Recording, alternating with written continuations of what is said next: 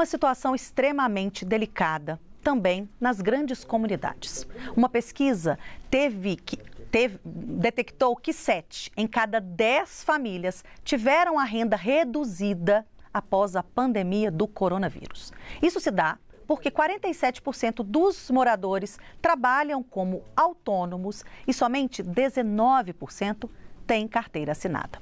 A pesquisa foi realizada com 1.200 moradores de 262 favelas do Brasil. Nós fomos então conferir como está sendo o confinamento dos moradores de grandes comunidades aqui de Belo Horizonte.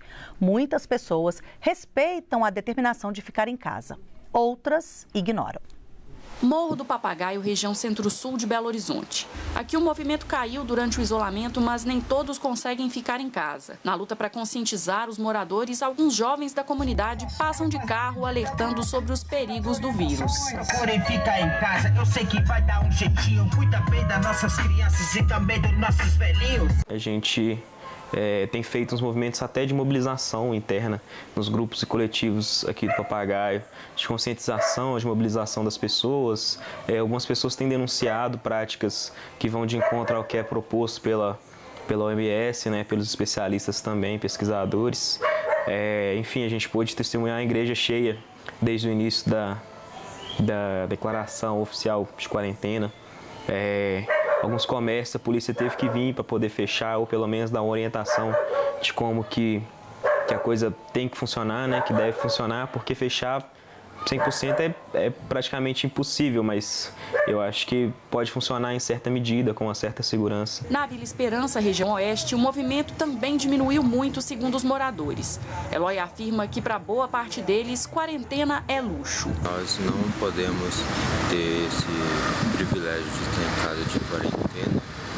Né? Nós temos que buscar o nosso sustento para nossa família, para dentro de casa e temos aí tem, temos amigos que pipoqueiro que também que moram aqui na vila, tem uma boa parte que é pipoqueiro, estão sofrendo muito pelo fato de que não está tendo venda presa. Eles costumam vender aqui na, na BR a BR não está é, como um, um tempo atrás, que está agarrando, passando bastante carro e eles conseguem tirar o sustento. Na favela mais antiga de BH, a Pedreira Prado Lopes, os medos e cuidados dos moradores são semelhantes. Cada um faz o que pode.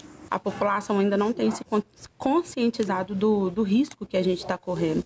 Então, tem muita gente que está ficando na rua. A gente observa que nos finais de semana, principalmente, os bares estão ficando cheios.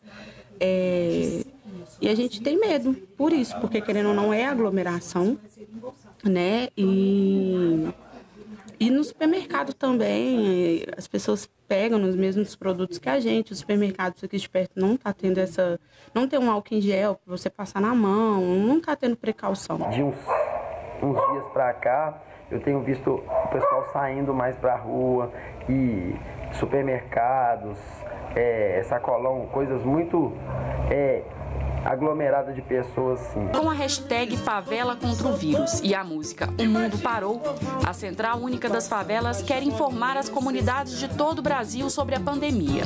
O mundo parou, Jesus Cristo, Alá, Oxalá, ó meu Deus, eu peço piedade. O parou, o livro sagrado procura razão pra essa enfermidade. A gravação reúne vários artistas para falar de união e de hábitos para conter o avanço do vírus. Em Minas, a aposta em ações integradas. Hoje, a gente cria uma grande rede para que essas pessoas que fazem parte dos 40 milhões de, de trabalhadores na informalidade, que elas possam sobreviver e passar por esse momento de reclusão de uma maneira digna, sem que a necessidade em suas casas, sem que o alimento em suas casas, eles possam, eles possam ficar escasso. Então, existe uma mobilização social muito grande de várias entidades sociais, do qual a CUFA faz parte, para poder atender que essas pessoas que já, algumas delas, ou várias delas, já passavam por necessidade anterior, mas que elas possam passar por esse momento é de uma forma mais saudável possível. Também com música, Hugo tenta expressar o que o Morro das Pedras, região oeste de BH, tem vivido. Ar pra respirar, o coração na mão, o mundo gira a cabeça. Vou de cabeça nesse mundo então. Ele percorreu a comunidade de carro conversando com moradores e está preocupado. Nem todos estão levando o assunto a sério. Eu dei um rolê aqui na comunidade para ver como é que tá a situação aqui, como vocês viram aí. Muita gente por necessidade, né, de trabalho, tá aí fazendo os seus corres para ganhar o seu pão de cada dia. Muita gente é, tá nos botecos, nos bares, nas ruas, curtindo, é, poderia estar tá evitando mais. A gente sabe que essa epidemia está crescendo e se alastrando e infelizmente a nossa comunidade, os povos das periferias não tem o mesmo privilégio que a classe média, que a classe média alta, que a classe alta.